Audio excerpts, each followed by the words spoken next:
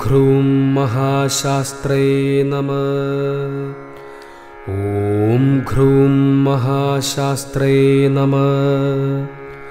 ॐ घ्रूं महाशास्त्रे नमः। ॐ घ्रूं महाशास्त्रे नमः।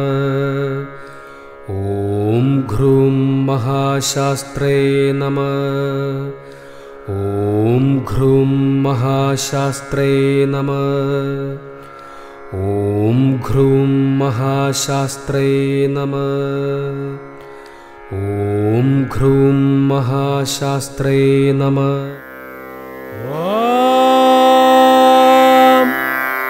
यातभूतिरिव माया परमाया मध्यमेन्द्रशूष्मीनस्ति ताभिरुषु वृत्रहत्येवीन्न एभिश्च भाजेर्मघानवुग्र।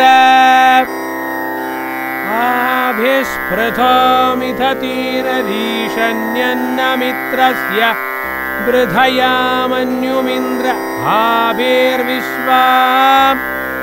अभियुजो विशूचिरार्याय विशोऽवतारीर्धासीः इन्द्रजामय उतये धामयोर्वाचीनाम् सोऽवनुषो युयुध्रे त्वमेषां विधुराशवांसि जहि वृष्ण्यानि गृणुहि पराचः।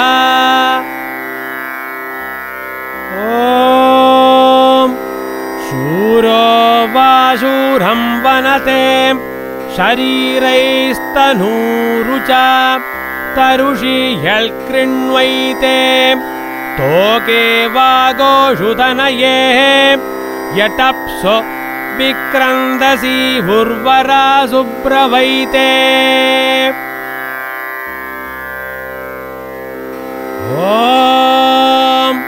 न हित्वा शूरो न तूरो न धृष्णुन्नत्वा योधो मन्यमानो युयोध इन्द्रनकिष्ट्वा प्रत्यस्थेषाम् विश्वाः झाकान्यभ्यसितानि।